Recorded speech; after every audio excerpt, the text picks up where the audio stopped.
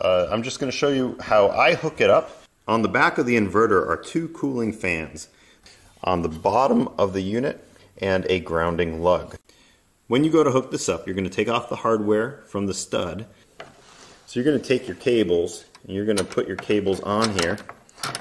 And you want to make sure that that cable is on that connection nice and tight. And then if you're going to hook up two cables, then you're going to take the second cable and don't put them on together like that because they won't have a good clean connection. You want to twist the second one. That's going to be a better connection. Then you'll then you'll put your flat washer on first, then your lock washer, and finally you'll follow it up with your nut. Okay, all the wires are tight and they're not loose when I move them. First thing we'll do is take the negative battery cables, and this is going to be my negative bus bar from my batteries. Check them and make sure they don't wiggle. They're nice and secure. Now for the positive. You could hook the positive directly up to the bus bar because there's fuses built into this. So here's the terminal block and I just removed these bottom screws.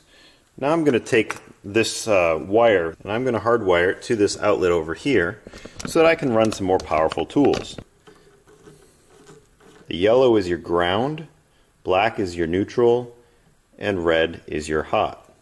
And then last step, and put the plastic cover over that terminal block. Okay, so now we have these outlets that are available for low power draw items, and we've hooked up an outlet over here for high power draw items. I'm glad that this inverter has the ability to run the miter saw. This is 1800 watt. Uh, I do run my chargers off of it. Uh, sometimes I have a whole bank of chargers lined up. And I have cooled this garage with a small window AC, which draws a little over 400 watts. Thanks for watching.